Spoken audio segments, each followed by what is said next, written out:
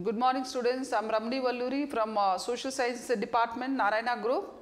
Today we are going to deal with uh, Social Science assignment, Federalism, Democratic Politics for class 10th. Let's see the first question. The system of government in which there is only one level of government there is only one level of government is uh, unitary government. See, if you see federalism is a form of government where there are two or more levels of government will be there. In contrast to that, unitary form of government. Unitary form of government has only one level of government. Even if they have subunits or subordinate states, they are uh, subjugated or they are uh, uh, subunits of uh, the central government or the unitary government. So, one level of government is unitary form of a government. Let us see the second question. Belgium shifted from uh, unitary to a dash form of government after changes in 1993. So 1993 constitution was amended uh, four times to accommodate uh, the so uh, all the ethnic diversities. So here uh, federal form it is shifted from unitary form to federal form uh, the Belgium uh, nation in 1993. Let's see the third question. Name one country which has a unitary form of government. If you see unitary form of government, there are so many examples are there. You can give anything. You can give here uh, Sri Lanka. Apart from Sri Lanka, there is uh, Italy, North Korea, South Korea. Uh, you can also mention um, Iran, Maldives, uh, right, uh, Zambia. Many examples are there. Uh, even you can uh, just go through a list of unitary form of uh, governments. So, you can mention any one example. So, here we will mention Sri Lanka. Let us see the uh, fourth question. Out of 193 countries in the world, we, how many we have federal political systems? There are 25 countries are practicing federal form of government. India is one of the best examples and uh, even you can say uh, United States, you can say Argentina, Australia, uh, Austria, Belgium, Bosnia, uh, Brazil, Canada, uh, and we have uh, Russia like this we have so many examples you can give even Spain is also federal form of a government. So here we'll give uh, 25 states. How many uh, countries are there? So 25 nations out of 193 are uh, practicing federal form of a government. Let's see the next question. Different tiers of government govern the same citizens, but each tier has its own jurisdiction in specific matters of legislation, administration and taxation. See when we say federal form of government, federal form of government has uh, two or more levels of government, one government at the central and one government at the state. Each government uh, will have certain jurisdiction. Jurisdiction means uh, the areas where they are uh, legally supposed to rule.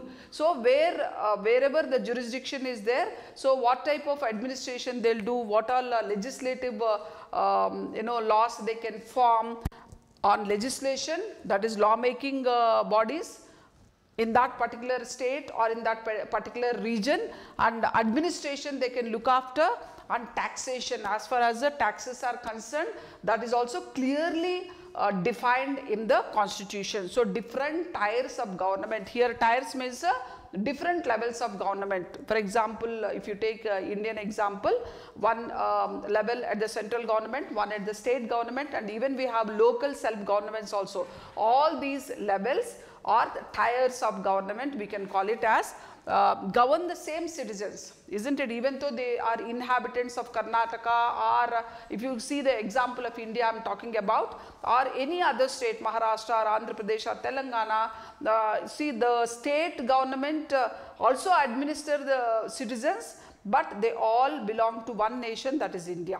Isn't it. So, govern the same citizens but each tier has its own jurisdiction in specific matters. What are those specific matters? Legislation, administration and taxation. These three things you have to mention. Let us see the next question. An ideal federal system has both aspects of dash and dash. Here the question is ideal uh, federal system that is uh, if the federal system to be successful what is important because we are having one government at the center and one government at the state. So, what is required for the smooth functioning of the federal system? So, what is required? Here mutual trust, they should trust each other and agreement to live together. We should not, uh, uh, you know, step on uh, others administration. So here agreement to live together and mutual trust are the key features of uh, ideal federal system. Let's see the next question. Write uh, what are the two different types of uh, federation. We have two types of federation that is coming together federation and holding together federation. You might have already learnt what is coming together when there are uh, uh, more independent nations or sorry when, when there are two uh, or more independent nations come together to form a single unit, single large unit that is called as a coming together federation. United States of America is the best example for coming together federation. So here holding together federation, what do you mean by holding together federation? For the administrative convenience, the central government itself on its own distributes powers, right? That is to the uh, different constituent units of the uh, nation.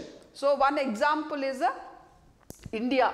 India is the best example for holding together federation. Fine. So we have uh, different uh, tiers of uh, uh governments that is called the holding together federation. Central government uh, uh, has more powerful government, but at the same time it gives independent judiciary to the states and local self governments. So here holding together federation. So here next question dash is the area over which someone has a legal authority. So here uh, jurisdiction is the area where we have a legal authority. See this uh, aspect you will come under um, uh, India um, you know how does uh, India practices its federation like you know we have a union list, state list and concurrent list we have right.